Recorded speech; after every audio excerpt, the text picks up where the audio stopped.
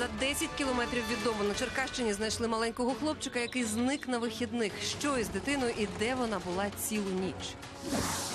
Рукотворна пандемія. Змі публікують нові докази причетності Китаю до створення коронавірусу. На чому вони базуються? Широкий жест Україна відправила в Індію дві сотні кисневих концентраторів. Звідки така щедрість, якщо тут їх не вистачає? Беріть гроші і залишайтеся. Верховна Рада хоче втримати заробітчан виплатами на власний бізнес. Яка ціна питання? Закляті друзі, Данія допомагала США стежити за лідерами інших країн ЄС. До чого може призвести цей шпигунський скандал?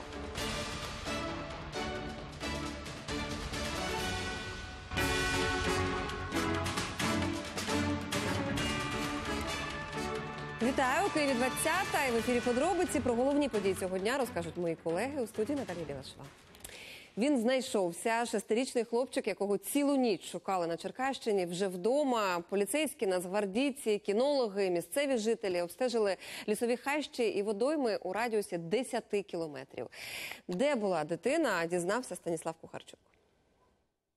Ця галявина на околиці лісу улюблене місце відпочинку тутешніх дітлахів. Суботнього вечора шестирічний Сашко теж гуляв тут із друзями, але згодом, прихопивши свого вірного друга лабрадора Амура, вирішив піти на прогулянку. Та от повернувся додому лише вранці наступного дня. Новина про зникнення хлопчика переполохала все село. Ледь стримуючи сльози, мама згадує той вечір як один з найжахливіших у житті. каже, дитина бавилась біля подвір'я, а потім раптом зникла. Що хлопця немає, рідні помітили, коли на вулиці вже сутеніло. Це був дуже великий шок. Ми почали шукати. Ми зразу по сусідах. Може, він десь побігли по всіх містах, де він міг, де він гуляв раніше. Коли вже не повернулася собака, дуже довго немає. Ми вже почали думати, що да, він дійсно з собакою. І це, хоч наче хоч трошки заспокоювало. Лабрадор Амур – вірний друг Сашка. Із собакою цілу ніч хлопчик і блукав у лісі. Пес не відходив від нього ні на крок, постійно охороняв. Після пригоди сам Сашко ще досі наляканий і до нас відмовився виходити. А от Амур залюбки позує на камеру. Ми його не вчили, що він там от дитину міг там смикнути назад, що от вона куди там іде. Ніхто навіть не думав такого, що може бути така надобність. Що не було Амура, і ми ну так, хоч була надія, що він не сам. Доки хлопчики з собакою блукали в лісі, рідні та односельці Сашка в розпачі прочісували місцевість. Коли ж пошуки не дали результатів, до них долучилися правоохоронці, кінологи і бійці Національної гвардії. Дитину знайшли лише над ранок за 10 кілометрів від домівки. Обіймаючи Амура, Сашко всю ніч просидів на березі болота. Коли дитину знайшли, всі зітхнули з полегшенням, адже місцевість тут болотиста, а тому приховує чимало небезпек. Коли вже там четверта ранку, вже п'ята, вже розцвітанок на дворі і дитини немає, ну вже практично ну до самого гіршого завжди, думки йдуть. Ну в той в той випадок буде. Після пригоди Сашко із двору тепер ні ногою. Батькам він уже пообіцяв, що більше в далекі піші прогулянки сам не піде. Станіслав Кухарчук, Павло Тимошенко, подробиці телеканал Інтер, Черкаська область. Посилити санкції проти проти білоруської влади та провести міжнародне розслідування інциденту у мінську. Українські нардепи хочуть звернутися до світових організацій та країн. Постанова вже зареєстрована у парламенті. Коли її можуть винести в зал для голосування, та які ще документи запланували розглянути нардепи цього тижня? Дивіться далі.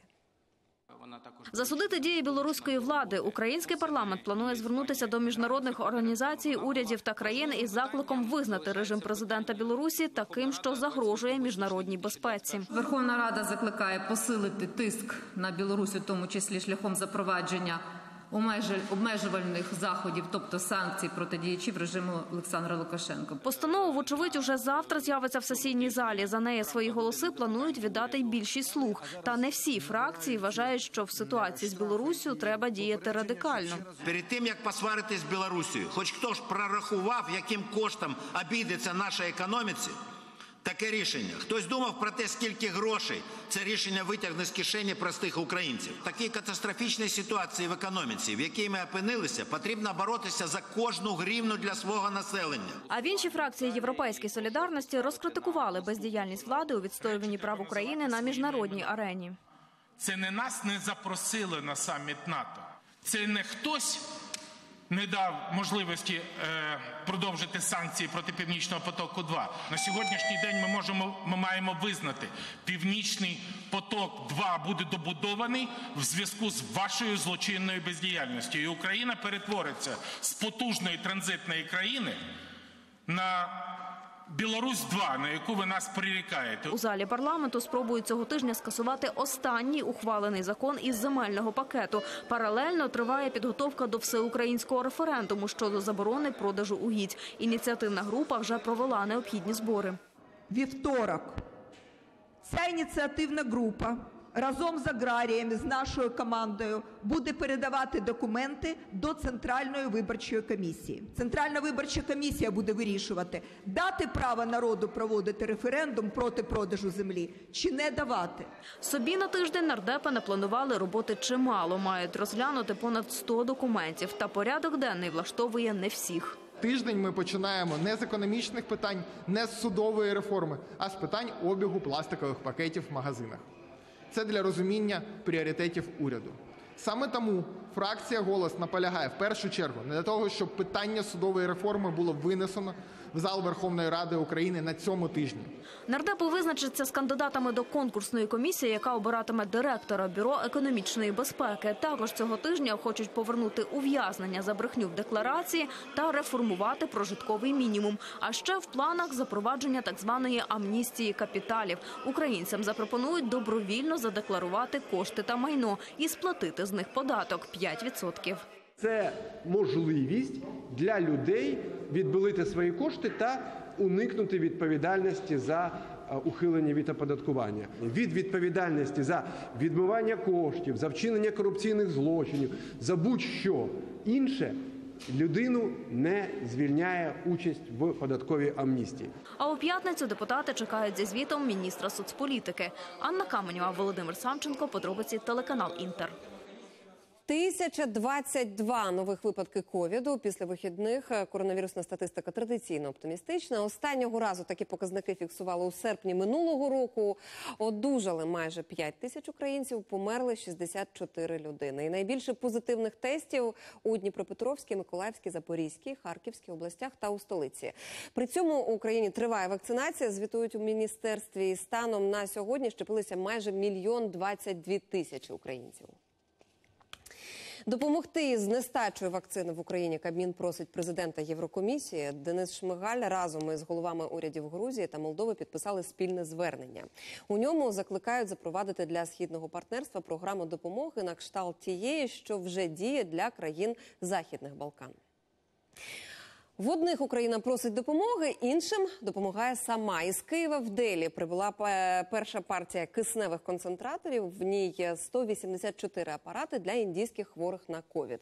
Другим рейсом передадуть іще 216. І це у той час, коли у самій країні цих приладів не вистачає. Замість лікарень концентратори нужденним надають волонтери.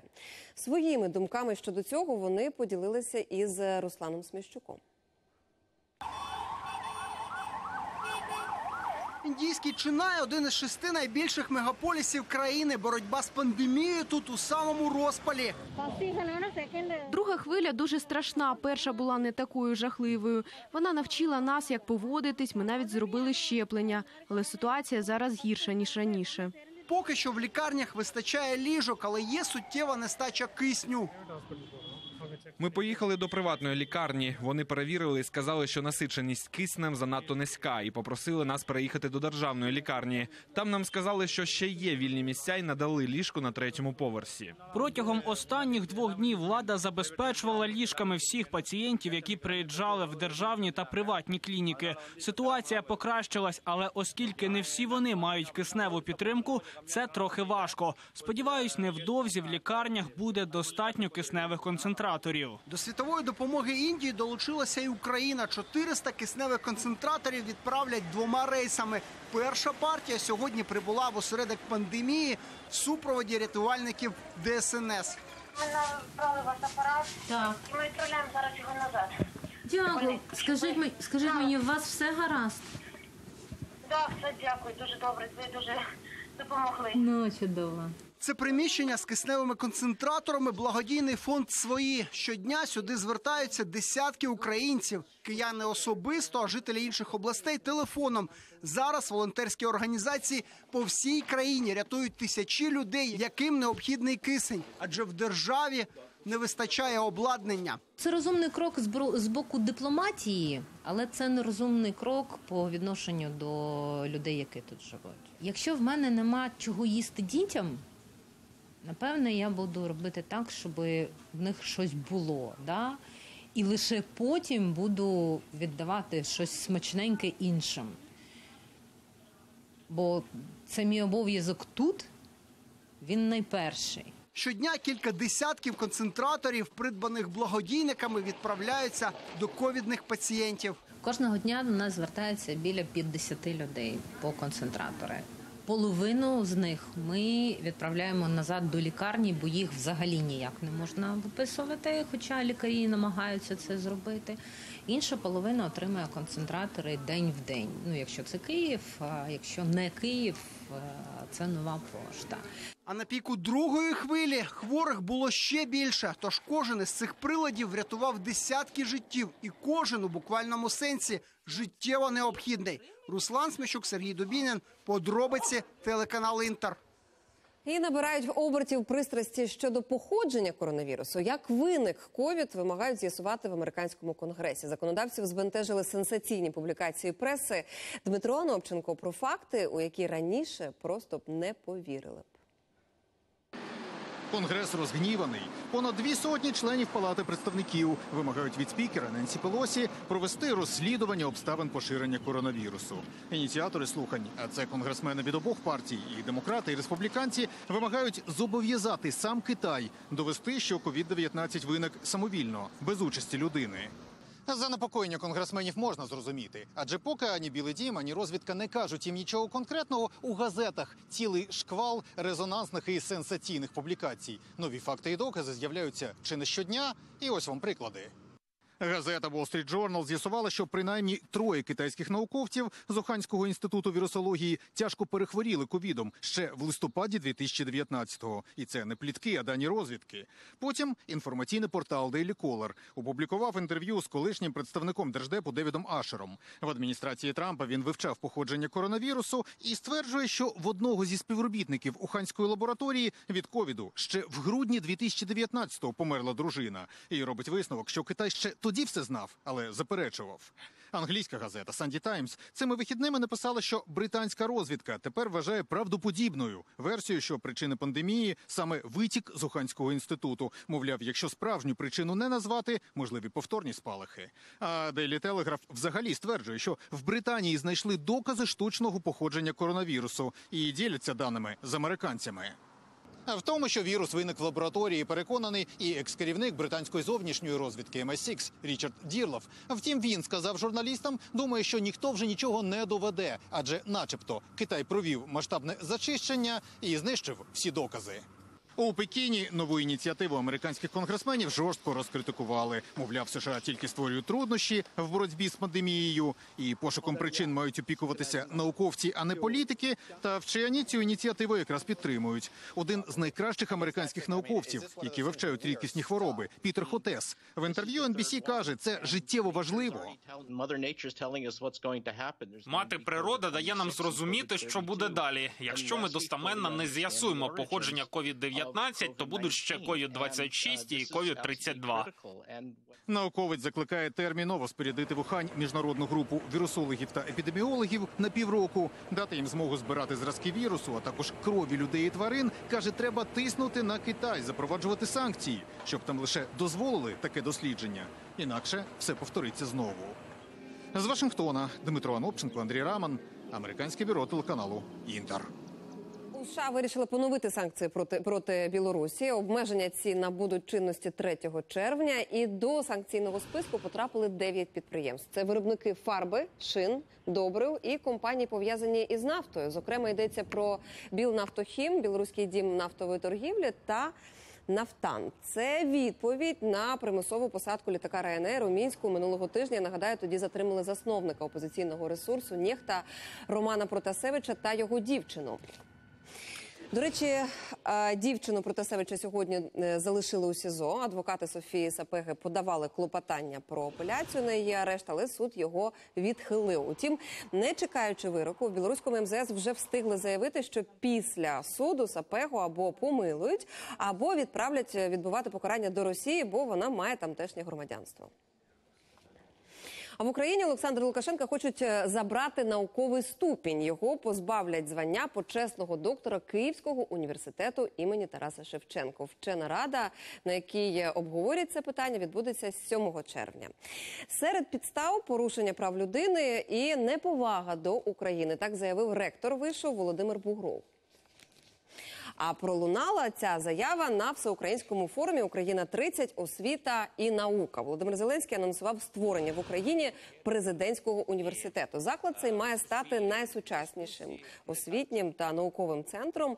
Навчатимуться там люди майбутнього. Це цитата, і маються на увазі найкращі випускники з усієї країни. Навчання буде безкоштовним. Утім, після закінчення фахівці мусять працювати у стратегічних для розвитку держави галузях. Університет буде готувати спеціалістів з інформаційної та кібербезпеки, спеціалістів штучного інтелекту, нанотехнологій, аерокосмічних, енергетичних та біотехнологій. Наша мета це найкращі умови, найкращі викладачі, найкращі учні з усієї України, які будуть навчатись безкоштовно, а потім працювати в державі, працювати тут, реалізуватись тут, в Україні, на благо нашої держави, на захист кожного українця. Про економічну, політичну та соціальну співпрацю із Францією сьогодні говорили у стінах парламенту. На запрошення опозиційної платформи е, за життя до України завітали тамтешні сенатори. Запевняють, що стежать за подіями в Україні, особливо за станом свободи слова і утисками опозиційних політиків. Також французькі сенатори нагородили нардепа Вадима Рабіновича почесною медаллю Сенату Франції і запросили до Парижа. У Раді Європи є ваші представники і всі засоби для дотримання прав опозиції. У Франції завжди виникають проблеми з опозицією, оскільки вона вважає, що недостатньо представлена у владі. Звичайно, щоб добре працювали парламент і держава, потрібно, аби опозиція могла нормально діяти. Франция – это страна, которая дала миру демократию и свободу. И мы должны обязательно с ними не просто дружить, а дружить близко. Если говорить о моей политической позиции и целом нашей фракции и нашей партии, я думаю, что ее смело можно назвать профранцузской. Потому что это именно та страна, которая только добро от нее видела Украина. И нам очень многому есть чему учиться. Ми розмовляли про відносини України з її сусідами, обмінялися думками щодо економічних питань. Це і сільське господарство, і промисловість. Я заступник голови комісії Франції з питань міжнародних відносин та оборони.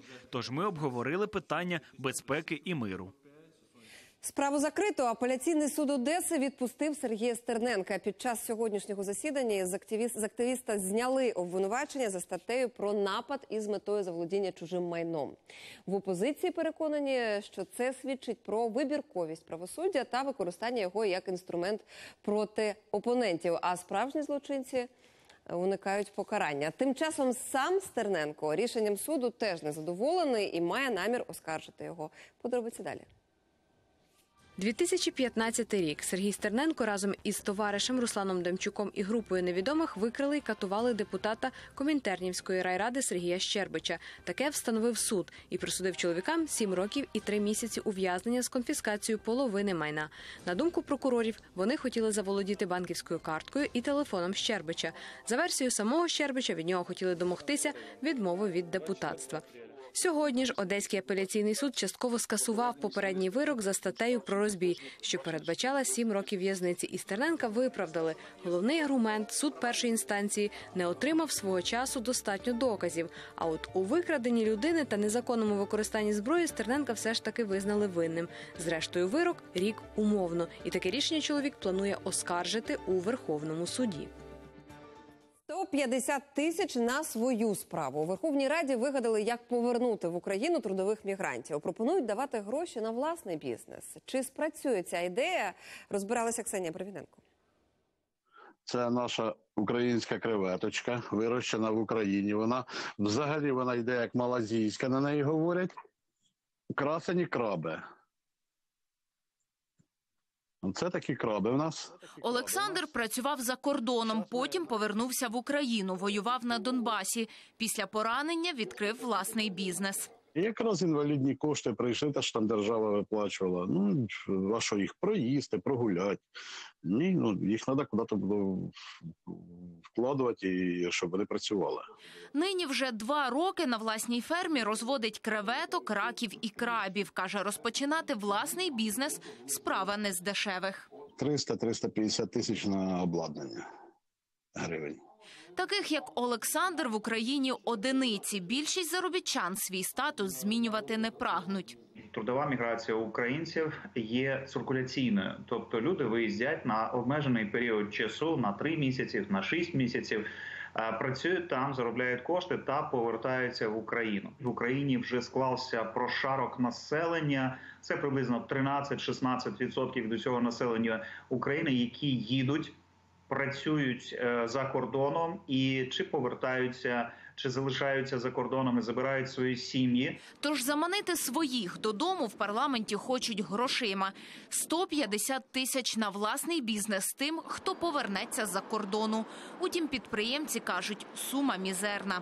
Для того, щоб е, розпочати власну справу, тим більше у нинішній період, коли ковіди, е, коли війна, коли все це в Україні робиться, ну реально цього цього замало. Е, ну тебе ж ніхто не питатиме, наприклад, що е, у тебе немає збуту. Чому? Та тому, що кордони закриті, ти за кордон не можеш відправити свій товар. Економісти твердять, грошей може вистачити хіба на найпростіший бізнес. можна відкрити торговельне місце, закупити товар е, і потім торгувати цим е, товаром. Тобто можна створити одно робоче місце в сфері е, торгівлі е, не в Києві, а в маленьких е, містах, в селах. Та навіть цей шанс матимуть не всі. На фінансування програми планують виділити 108 мільйонів гривень. Рахуємо, виходить 150 тисяч на власний бізнес зможуть отримати лише 720 людей. Якщо порівняти це з оцінкою трудової міграції загалом, яка зараз складає від 3 до 5 мільйонів осіб, то це, звісно, капля в море. Але це перший крок, який, на мій погляд, потрібно необхідно робити. Бо якщо подивитися на дані від е, Польщі, у 2019 році майже 5 тисяч українців започаткували власну справу в цій країні. У 2020 ковідний рік 6 тисяч українців започаткували свою власну справу у Польщі. За словами експертів, разовою допомогою зупинити трудову міграцію та повернути заробітчан не вийде. Потрібно створювати прозорі умови для бізнесу та підтримувати тих, хто прагне розпочати власну справу на батьківщині. Ксенія Барвіненко, Олег Невідомський. Подробиці телеканал Інтер. П'ять обстрілів від початку доби на східному фронті. Черговий день без тиші. Сьогодні противник бив переважно з гранатометів. Гарячі точки це Водяне, Авдіївка, а також Майорськ, що неподалік окупованої Горлівки. Із передової репортаж Ігор Левенка. Це щастя, що і побачили хлопці, і ліквідували. Таку ганебну і заборонену всіма конвенціями зброю ворог застосовує попри всі угоди. Це протипіхотна міна ПОМ-2. Супротивник вкотре дистанційно замінував ними ділянку в тилу наших армійців під Горлівкою. Особливість даного боєприпасу в тому, полягає в тому, що він стріляє не тільки з касет, а його можна кидати з руки. Е, Спокійно можна закидувати за допомогою РПГ. це навіть передусмотрено конструкційно. На міні чітко видно російське маркування. Вона виготовлена після 97-го року. Часто такі вибухонебезпечні предмети, незаконні збройні формування вистрілюють з гранатометів або скидають з безпілотників, незважаючи на те, що підірватися на них можуть і мирні жителі. Селище Зайцеве, околиця окупованої Горлівки. Колись тут люди селилися подалі від міської метушні, обробляли городи, мали квітучі сади. Нині ж усі поля тут перетворилися на мінні, і ходити навіть по людських подвір'ях слід вкрай обережно, дивитися під ноги, аби не наступити на якусь смертоносну залізяку. Факт порушення правил ведення війни супротивником зафіксували спостерігачі спільного центру контролю з припинення вогню. Ну, Наразі ми постійно да, верифіковуємо використання противником міни ПОМ-2 дистанційним мінуванням. В даному випадку ми спостерігаємо, що дистанційне мінування здійснювалося з шахти 6-7, яка ще знаходиться на непідконтрольній е, території. Нині армійці спостерігають зміну ворожої тактики. Супротивник став частіше відкривати вогонь зранку, попри те, що факти порушень фіксує ОБСЄ. Вчора о 8 годині 15 хвилин вони здійснювали дистанційне мінування е, російськими мінами ПОМ-2, е, але під прикриттям вогню е, мін.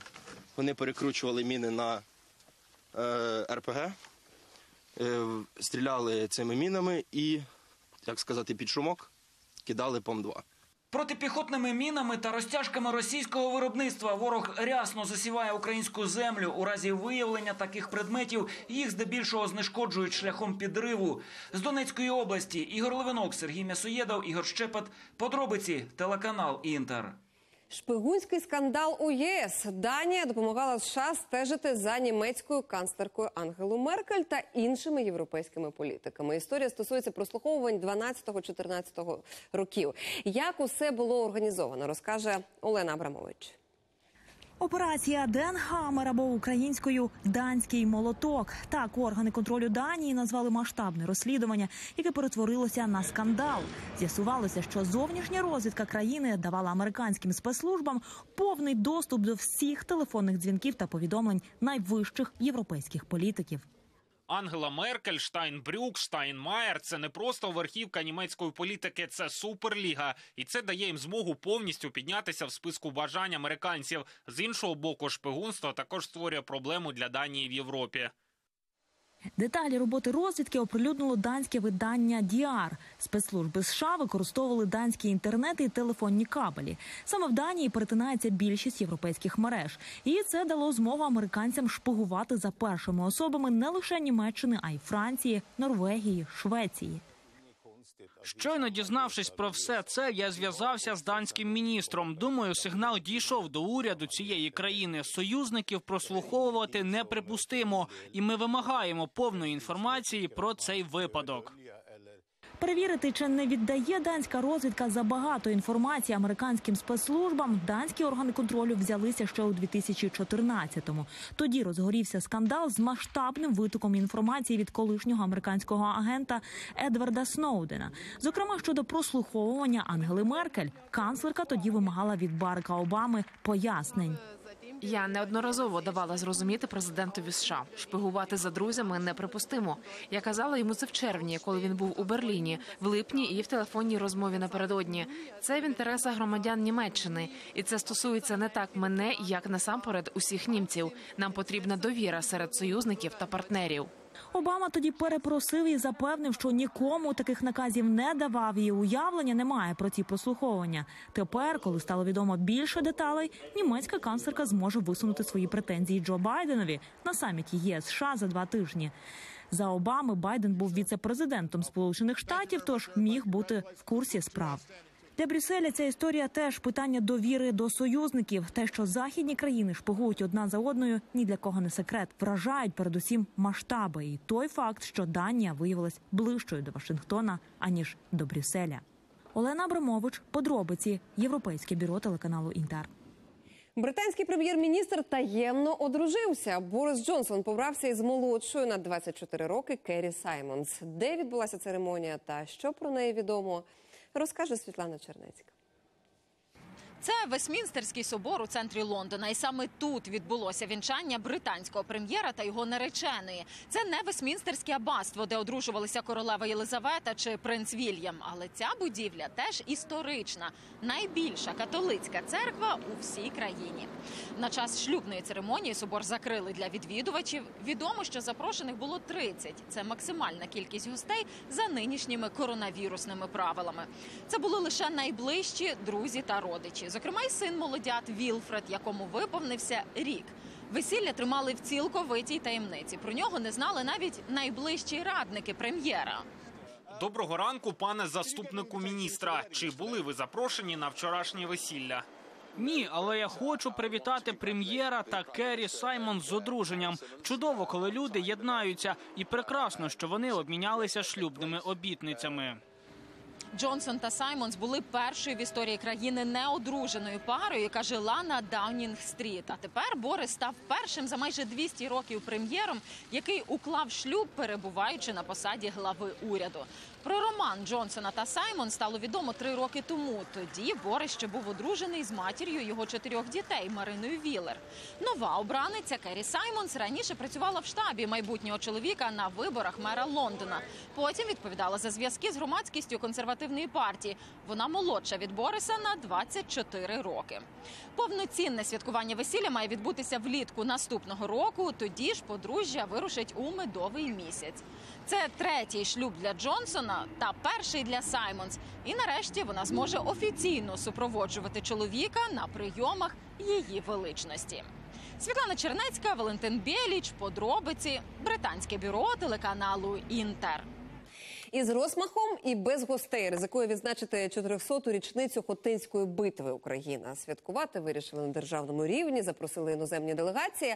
Але як вони доїдуть до Хотина, не пояснили. Адже міжнародна траса, що веде до міста, виглядає так, наче битва там у самому розпалі. Іван Сірецький переконався.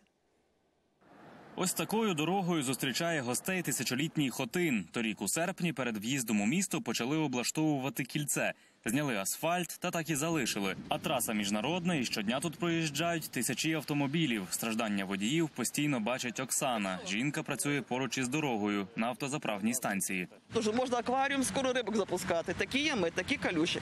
Якщо ще дощ піде, то машини їдуть і не бачать, яка глибина тієї ями. Багато хто вже і колеса тут втрачав, багато хто з'їжджав кювет, вирили великі ями і навіть не загорнули. Підрядник, який виграв тендер, мав облаштувати шість транспортних розв'язок в області. Однак довів до ладу лише два об'єкти. Решта чотири не завершені. Серед них і кільце в Хотині. Воно є на балансі державного значення. Наскільки нам відомо, підрядник, який здійснював ці роботи на сьогоднішній день з ним договір розірваний і проходять процедури тендерні. За словами посадовця, замовник робіт держпідприємство Фінінпро повідомило, що кільце завершить до кінця року. Однак, уже у вересні місто на державному рівні відзначатиме 400-ту річницю Хотинської битви. Це одна з ключових баталій у європейській історії, адже зупинила османську експансію на захід та була однією з наймасштабніших для свого часу. З боку Османської імперії е, вояків було 165 тисяч, понад 165 тисяч. З боку козацько-польського литовського війська це було десь приблизно 72 тисячі. Турецька армія навіть привела із собою верблюжу кавалерію й бойових слонів. Та це не врятувало османців від поразки. Події 400-річної давнини у вересні частково відтворять реконструктори з Польщі, Литви й України. Попередньо відомо, що е, військово-історичні товариства будуть відтворювати штурм фортеці, будуть якісь такі невеличкі бої, буде задіяна піротехніка. Я сподіваюся, що нашим відвідувачам буде досить цікаво поринути в ті часи. Та чи гостинно Хотин зустрічатиме туристів і гостей з-за кордону, поки що невідомо. Отримати коментар ні в облдержадміністрації, ні в обласному автодорі, чи хоча б в ДП Фінінпро не вдалося. Сторони перекладають відповідальність за ремонт дороги одна на одну. Треба, щоб влада приїхала по цих дорогах, проїхала та й бачила де. Утім, чи встигнуть приїхати, оглянути і бодай щось зробити питання відкрите. Іван Сірецький, Ігор Ріга, подробиці телеканал Інтер, Чернівецька область. Лікування як розкіш на Прикарпатті. Жителі цілого району ризикують залишитися без лікарні. На неї бракує грошей. У закладі почали звільняти медиків, та ситуацію це не рятує. Куди звертатися людям у разі хвороби, якщо лікарню таки закриють? Розбиралися мої колеги. Працівників поліклініки Верховинської райлікарні приголомшила новина про скорочення. Повідомили, що ми з 30 липня вже будемо звільнені, переведені там на менше навантаження, там на півставки, хтось на чверть ставки, а хтось взагалі піде вже з даної займаної посади. Серед тих, хто потрапив під скорочення, і медсестра пані Оксана. У поліклініці вона працює вже понад 30 років. Можливо, Бог так дасть, що ми знайдемо всі роботу і без куска хліба не залишимося. Але що буде з людьми, які тут живуть? Якщо зараз не потрібні пацієнти онкохворі, якщо не потрібні туберкульози, якщо не потрібні е, там якісь ну психіатрія, там скажімо, то що наркоман і алкоголік, куди йому діватися в даній ситуації? Масові звільнення не лише в поліклініці, а й в усій лікарні, пояснює головний лікар. Загалом скоротити планують щонайменше 30 посад і закрити дитяче відділення, а все через катастрофічний брак коштів. По виплаті зарплати в нас ситуація надзвичайно складна. За квітень е, 80% зарплати ми видали. Травень місяць це взагалі е, ситуація критична, тому що вже, скажімо так, червневими е, видатками, які десь планово ми повинні отримати, ну закриємо квітень там і, і, і частинку травня, якусь там, я не знаю скільки, десь відсотків, може 20, може 30 вийде зарплати. І далі ми не маємо взагалі. До кабінету окуліста Марії Прокоп'юк від ранку черга. Лікарка каже, пацієнтів вистачає. Єдина проблема платять мізер. Всім виплатили суто мінімально. Без, Без нічого. якщо це яка зарплата у вас, якщо не секрет. 4200. Райлікарня завжди була дотаційна, каже її керівник. Та раніше фінансували через субвенції з держбюджету. Нестачу щоразу додавали. А торік медзаклад уклав договір із Національною службою здоров'я. Ситуацію врятував перехідний пакет, додаткові півмільйона гривень. Але цьогоріч його забрали. З 1 квітня цього року вже вкладений новий договір з Національною службою здоров'я України на фінансування в сумі. Це абсолютно, це навіть е, я не знаю, ну десь половина фінансування, ну може 60% від потреби, яка є для закладу. Е, З чим це пов'язано? Пов'язано з тим, що Національна служба здоров'я України відповідно розрахунок зробила по кількості тих е, епізодів, які були вивантажені в центральну систему, в центральну базу даних за 2020 рік і відповідно перший квартал 2021 року. Тобто гроші дали за кількість наданих за минулий рік послуг. Утім, під час розрахунку НСЗУ не взяла до уваги, що медзаклад через карантин працював неповноцінно. Поліклініка майже два місяці не приймала пацієнтів. Тотальна економія і звільнення дозволять заощадити трохи більше ніж 300 тисяч гривень. Підрахували в лікарні. Та навіть такі заходи ситуацію не врятують, каже головний лікар. Адже щомісяця лише на одні зарплати їм не вистачає майже 800 тисяч гривень. Жителі району повідомлені. Ну це, скажімо так, навіть шок для всіх жителів нашого району, що в нашому районі є ризик за повного закриття такого е, закладу вторинного рівня. Це просто люди абсолютно не будуть мати змоги, не будуть мати доступу до вторинного рівня. Якщо цю лікарню закриють, найближчий медзаклад у Косові більш ніж за 40 кілометрів звідси через гірський перевал, а взимку його часто замітає. Поліклініка і лікарня мусить бути в районі. Ну, Попробуйте їхати з Буркута до Косова або до Коломиї. Це неможливо. Поки доїдете, вже його нема. Верховинська лікарня на балансі селищної ради. Там кажуть, хотіли б допомогти, але й самі нині у скруті. Не можуть навіть оплатити для лікарні повністю енергоносії, хоча за законом мають. В них була потреба 2 мільйони, з яких ми дали ж тільки мільйон 200. Ще маємо ос- е, заплатити тільки травень е, ліміти, а далі вже ліміт е, призначень у нас не буде. Ми зараз ще червень заплатимо, травень-червень, і на цим у нас е, ліміт е, призначення для виплати е, енергоносіїв не, не, не закінчується. Ми не зможемо допомогти в зв'язку з тим, що ми самі маємо забезпечення на півроку. Поки що стараємося економити на чому можемо. 43 мільйони нам не- вистачає на сьогоднішній день. Це є дуже велика цифра, яку ми практично ну нереально їде зекономити, або щось прийдеться, або закривати деякі установи. У лікарні сподіваються, що держава все-таки виділить додаткові кошти. Чи варто очікувати лікарні на допомогу? Ми запитали в НСЗУ. Та відповіді поки що так і не отримали. З медзакладу вже почали звільнятися молоді лікарі, а без кадрів навіть із грошима його все одно доведеться закрити. Артем Антоненко, Жанна Дучак, Занові Автонас, подробиці, телеканал Інтер, Івано-Франківська область. Позбутися кліток для тварин на фермах. Петицію з такою вимогою до Євросоюзу подали екоактивісти. І вона зібрала понад півтора мільйона, е, мільйона підписів. Тож потрапила до обговорення до Європейського парламенту. Як у Брюсселі збираються реагувати і чому у таких дискусіях часто згадують Україну, розкаже Олена Абрамович. Закінчують епоху кліток. Рух з таким гаслом кілька місяців набирає обертів у Євросоюзі. На фермах ЄС наразі у клітках тримають 300 мільйонів тварин. Серед них 180 мільйонів курей, 112 мільйонів кроликів, 40 мільйонів качок та гусей, 12 мільйонів телят та 10 мільйонів свиноматок. Умови, в яких вирощують цих тварин, настільки обурили жителів ЄС, що петицію з вимогою заборонити клітки підписали громадяни 18 країн Євросоюзу. А Європарламент виніс проблему на обговорення. Я порівняв цю ініціативу із забороною рабства. Колись багато років тому були сумніви, чи можливо це втілити в життя, але це сталося, і ми маємо діяти. Звісно, ЄС повинен розробити чітку дорожню карту для переходу на фермерство без кліток. І я вважаю, нам це під силу. Наразі єдиною країною Євросоюзу, де вже відмовилися від кліток у фермерстві, є Австрія. Проте після переходу на таке відповідальне до тварин ставлення обсяги виробництва в країні скоротилися на 60%. Фермери не витримали конкуренції з іншими європейськими виробниками. Крім того, чимало дешевих яєць та курятини надходять до країн ЄС із України. Ми маємо всі перейти на таке виробництво і не слід продавати клітки в Україну. Я там був. Вони досі не дотримуються жодних умов щодо благополуччя тварин.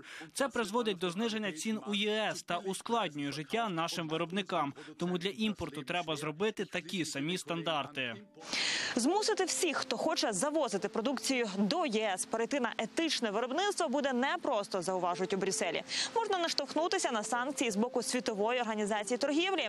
І тоді, як у країнах блоку справді є запит на так звані органічні м'ясо та яйця, їхня ціна значно вища, і це окремий клас продукції для тих, хто може собі це дозволити. Примусовий перехід на нові стандарти може стати нищівним для європейських фермерів. Необхідно подумати, як уникнути скорочення виробництва, бо вартість обладнання землі робочої сили означатиме зростання вартості виробництва. Звісно, про благополуччя тварин треба думати, і ми закликаємо до цього. Але я проти радикальних змін. Ми маємо підтримати фермерів. Почати можна хоча б із заборони тримати у клітках курей, що несуть яйця, вважають чеські політики. Таку ініціативу Чехія має реалізувати до 2027 року. Міністри сільського господарства Євросоюзу, як і євродепутати, вже обговорили проблему. І останнє слово або ж рішення випускати тварини з кліток на фермах ЄС чи ні за Єврокомісією. Оголосити його мають на початку червня. З Брюсселя Олена Абрамович, Європейське бюро телеканалу Інтер. Український Стоунхендж неймовірну знахідку археологи розкопали у кургані в селищі Новоолександрівка на Дніпропетровщині. А ще натрапили на унікальні поховання від епохи бронзи до скіфів та середньовіччя. Чому це важливо, розкаже Олена Мендалюк. На майданчику працює важка техніка. Метр за метром розгортають ґрунт. Ближче до знахідки землю розчищають обережніше щітками і лопатами. Два місяці археологи трудяться над своїм відкриттям українським Стоунхенджем. Наразі з кургану вже чітко вимальовується кам'яне коло діаметром 18 метрів. Кожна з брил заввишки майже 2 метри. Це світ перших скотарів, е, рухливих скотарів, які пересувалися степом е, і першими почали будувати кургани. Перша функція це суто конструктивна, тому що це каміння було вертикально вкопане і отримувало одну з перших насипів. Тобто курган був не такий зараз, як сферичної форми, а мав форму січеного конусу. І тому це каміння по колу його стримувало фактично. Друга функція це сакральна, це обмежити світ мертвих від світу живих. На місці розкопок археологи вже знайшли 21 поховання. Найдавніші з них датуються ще бронзовою епохою понад 5 тисяч років тому. За попередніми висновками у цьому кургані могли ховати вождів, шаманів чи воїнів. Археолог Володимир Шалабудов змальовує одне з поховань. лопатка вторая, руки перед лицом, ноги согнуты и пятки подтянуты к тазу.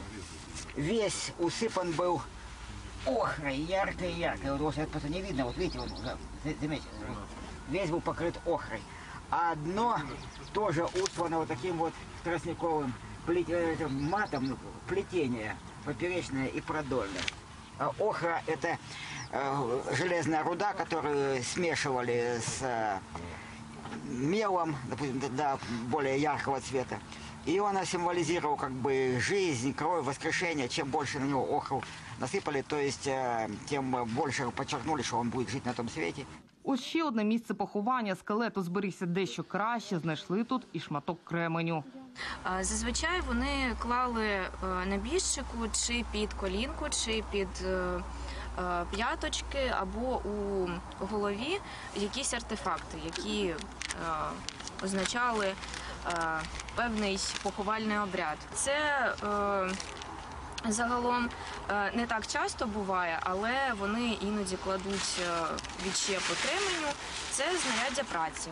Усі знахідки археологи передадуть на дослідження столичним антропологам.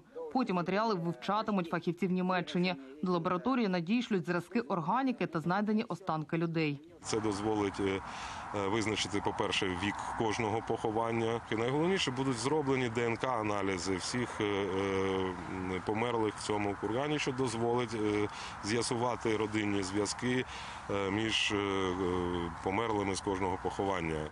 Після завершення археологічної експедиції на цьому місці планують створити музей просто неба. Олена Мдалюк, Іван Біленко, подробиці, телеканал Інтер, Дніпропетровська область.